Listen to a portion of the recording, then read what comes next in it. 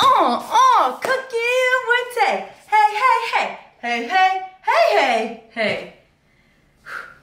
Oh my god, I was doing that for far too long. Hi everyone, my name is Taylor. Welcome back to my channel. If you are new here, hello, you are my friend. I love you. I'm so excited to have you. And today we're gonna be doing some TikTok hacks. Let's get the heck into it.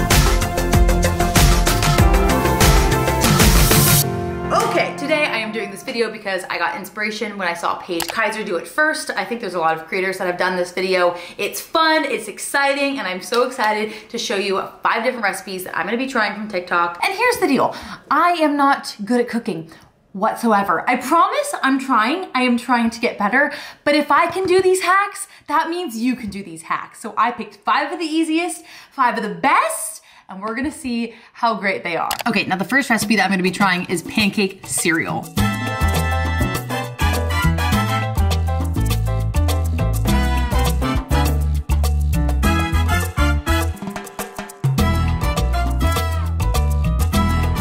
This one is so funny to me because when I was little, my dad used to make pancakes all the time and he'd always serve us those little tiny like error pancakes. And I'm so excited I'm gonna eat a whole bowl of them. I'm just mixing up my batter right now. I also decided to do this one first because I knew it was gonna be the most stressful for me. It involves the stove, it involves a lot of patience, so I wanted to just get it out of the way. I saw Paige use a plastic bag in her video because she also did this recipe, and I think it's gonna make it a lot easier when I'm trying to pour this onto the griddle.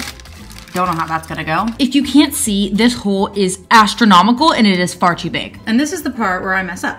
Oh, oh, oh, these are gonna be big cereal bites. Um, that was absolutely pitiful. This is the part that I'm gonna have to have so much patience with. Okay, this was my first piece. Clearly didn't know what I was doing. I can't flip them, oh my golly. Flip, flip, flip. It's not working. I'm gonna try using this. This is so bad. This is my first attempt. Um. Oh, whoa, whoa, yay. I just don't think I have the precision for this. I just don't think I have the artistry. But you know what? If you can do this, all the power to you. Wow. My masterpiece. Honestly, I was gonna fill the bowl up all the way, but that was so hard for me. I was testing my patience in ways I had never tested before, so I really just needed to finish. I'm just gonna try it. I'm sure it will taste the same if it's full or half full, whatever. People kept putting maple syrup in too, which obviously makes sense because it's pancakes, but not because it's cereal. So I'm just gonna do like a little dabble. Would you hire me, Kellogg's? Probably not. Honestly, pretty damn good. If you envision pancake cereal in your mind and you think about what it would taste like, this is exactly that. I am not a hater of the concept. I am not a fan of the cooking process. That was not fun. Do not give that a 10 out of 10. But this, for taste, an 8 out of 10. Honestly. Cooking process though, like a 3. I just want to keep eating it. okay, next up is kind of a fun one. We're gonna be making some healthy ice cream, peanut butter, banana, chocolate. Ooh, wee. So into a blender you want to have frozen bananas, cocoa powder, ice some vanilla out like a boss, and just a little bit of peanut butter.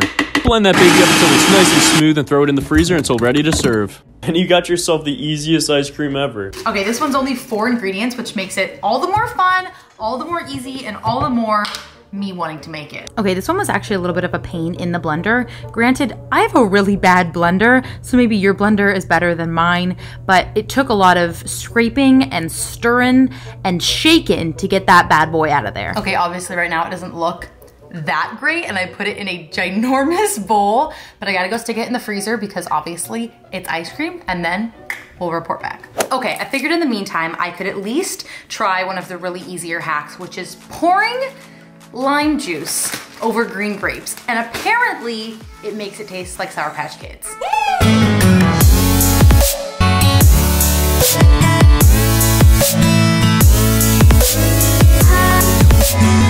You know, when I heard about this one, I was pretty skeptical. First of all, lime? Second of all, why? But you know what? If there's one thing TikTok has taught me, it is that you do not knock it until you try it. Okay, here is a perfectly beautiful bundle of green grapes that I'm hopefully not about to ruin. No time like the present. Cheers. No, that's, obviously it's not a perfect dupe, but it's pretty darn close. It basically just tastes like a Sour Patch Kid without all the sugar on it. That's so weird. I'm gonna give this like a seven and a half out of 10. I'm glad I tried it. It debunked my negativity.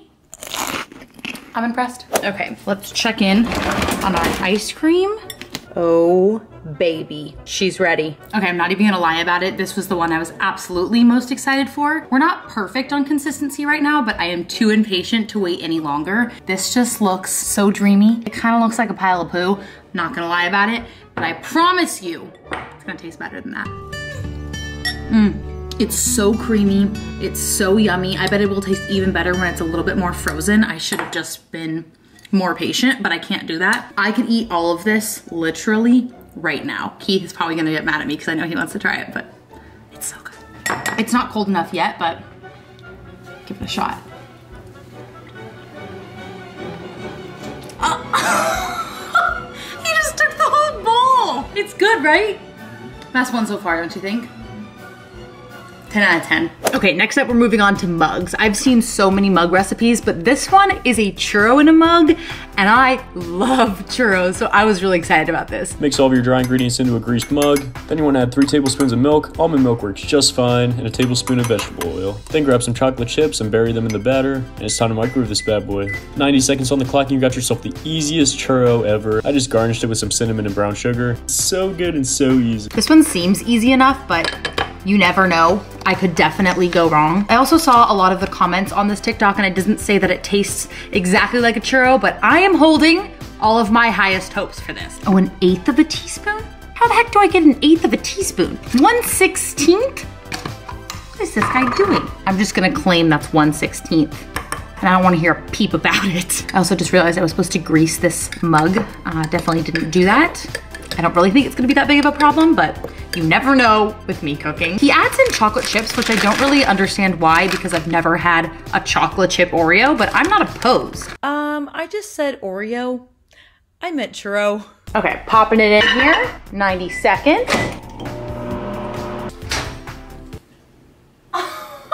Oh, it totally exploded. No. That's hilarious. He said he just garnished it with some cinnamon. This is hilarious.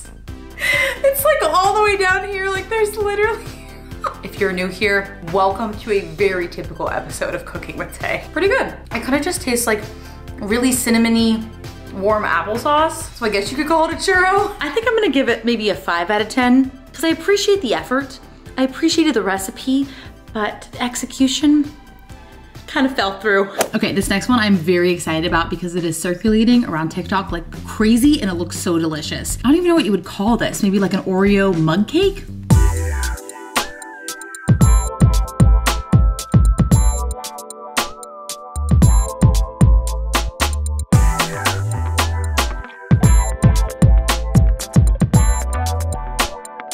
All right, I got my mug and my Oreos, double stuffed of course, but I also saw these Oreos with latte flavoring. So I think I'm gonna try two different mugs. So you're just gonna stuff a whole bunch of Oreos inside and add the milk. I'm only gonna add a little bit because I think it will probably ruin it if I pour too much. And then you just start crushing it with a fork. Oh my God. I think this is kind of the consistency that we're looking for. Gonna pop it in the microwave. Okay, now I'm gonna do the exact same thing in the other mug with my latte Oreos. That makes me so excited. I just wanna try these so badly. Now I'm gonna pop her in the microwave.